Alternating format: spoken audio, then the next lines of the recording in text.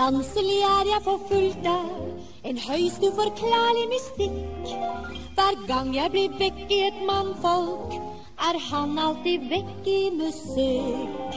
Det er en forunderlig skjebne, hver eneste gang har det hendt at ikke før så er jeg falt for så kommer han med et instrument.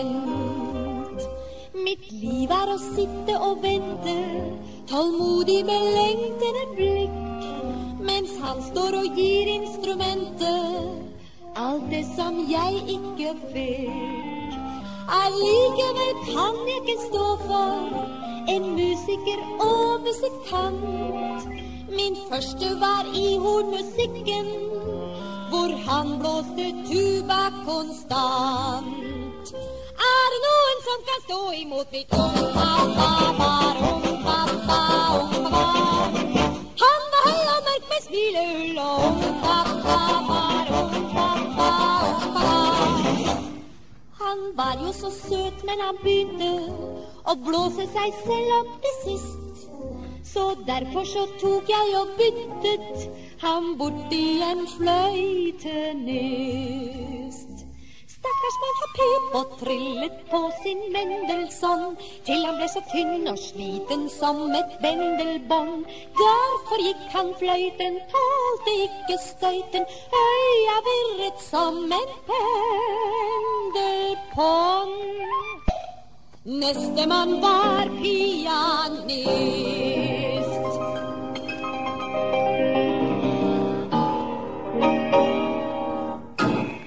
Han var på jobb til langt på natten, og etterpå bare satt han og spilte på kamp. Være med ham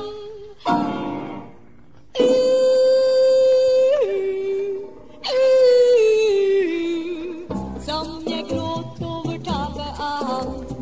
Da kom det, der kom det, der kom det, der kom det, der kom det deiligste mannfolken noen gang har sett.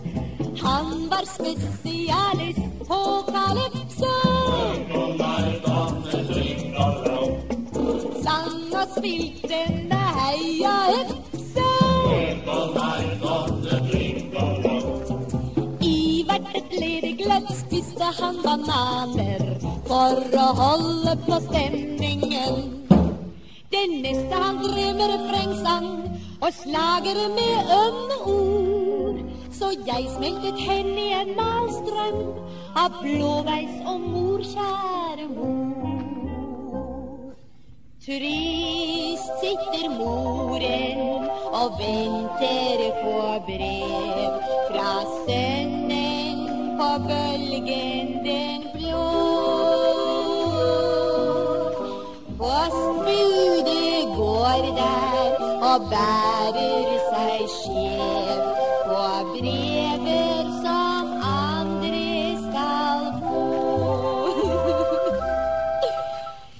Deretter datt jeg pladask for mannskoret løfteflokk. Jeg er dags ved å falle for laffen som led av rock.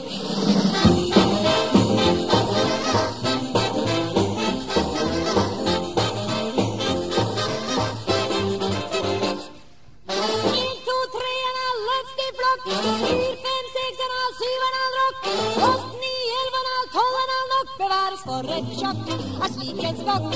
Tok ikke svinge på meg helt av blokk. Nå må jeg klamre meg til lappen. Inntil videre får han være nok.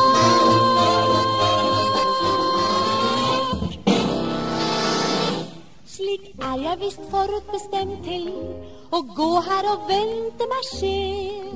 Mens den jeg er glad i, er opptatt med ti tusen triller og stev.